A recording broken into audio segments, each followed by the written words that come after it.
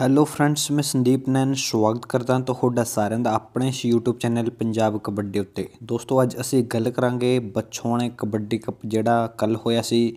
ਉਹਦੇ ਵਿੱਚ ਕਿਹੜੀ ਟੀਮ ਫਸਟ ਰਹੀ ਅਤੇ ਕੌਣ ਬੈਸਟ ਸੀ? ਜੇਕਰ ਤੁਸੀਂ ਆਪਣੇ YouTube ਚੈਨਲ ਤੇ ਪਹਿਲੀ ਵਾਰ ਆਏ ਹੋ, ਤਾਂ ਆਪਣੇ YouTube ਚੈਨਲ ਨੂੰ ਸਬਸਕ੍ਰਾਈਬ ਕਰ ਲਵੋ ਤੇ ਨਾਲ ਬਣੇ ਘੰਟੀ ਦੇ ਬਟਨ ਨੂੰ ਵੀ ਦਬਾ ਦਿਵੋ, ਤਾਂ ਵੀਡੀਓ ਸ਼ੁਰੂ ਕਰਦੇ ਹਾਂ। ਤਾਂ ਦੋਸਤੋ ਕੱਲ ਜਿਹੜਾ ਬੱਛੋਆਣੇ ਕਬੱਡੀ ਕੱਪ ਹੋਇਆ ਸੀ, ਉਹਦੀ ਫਸਟ ਜਿਹੜੀ ਟੀਮ ਸੀ, ਉਹ ਸੀ ਧਨੋਲਾ ਦੀ। ਧਨੋਲੇ ਦੇ ਵਿੱਚ ਦੋਸਤੋ, ਜਿਹੜਾ ਇੰਦਰਜੀਤ ਕਲਸ਼ੀਆਂ, ਫਰਿਆਦ ਅਲੀ ਅਤੇ ਰਵੀ ਜੋਰਾ ਖੇਡਦੇ ਸੀ ਅਤੇ ਇਹ ਟੀਮ ਫਸਟ ਸੀ ਅਤੇ ਇਹਨਾਂ ਨੇ 61000 ਰੁਪਏ ਦੀ ਰਾਸ਼ੀ ਜਿੱਤੀ ਹੈ।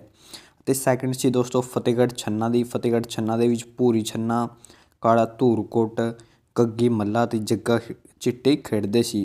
ਅਤੇ ਇਹ ਟੀਮ ਸੈਕੰਡ ਹੈ ਦੋਸਤੋ 41000 ਰੁਪਏ ਇਹਨਾਂ ਨੇ ਜਿੱਤੇ ਹੈ। ਬੈਸਟ ਰੇਡਰ ਸੀ ਜਿਹੜਾ ਰਵੀ ਜੋਰਾ, ਉਹ ਉਹਨਾਂ ਨੇ 25000 ਅਤੇ ਬੈਸਟ ਚਾਫੀ ਜਿਹੜਾ ਇੰਦਰਜੀਤ ਕਲਸ਼ੀਆਂ ਸੀ, ਇਹਨਾਂ ਨੇ ਦੋਸਤੋ ਪੱਚੀ ਪੱਚੀ ਹਜ਼ਾਰ ਰੁਪਏ ਵਿਨ ਕੀਤੇ ਹੈ ਅਤੇ ਇਹ ਸੀ ਦੋਸਤੋ ਕੱਲ ਦਾ ਰਿਜ਼ਲਟ ਅਤੇ ਜੇਕਰ ਤੁਹਾਨੂੰ ਵੀਡੀਓ ਵਧੀਆ ਲੱਗੀ ਤਾਂ ਇਸ ਨੂੰ ਲਾਈਕ ਸ਼ੇਅਰ ਕਰੋ ਤੇ ਆਪਣੇ YouTube ਚੈਨਲ ਨੂੰ ਕਰੋ ਸਬਸਕ੍ਰਾਈਬ ਧੰਨਵਾਦ।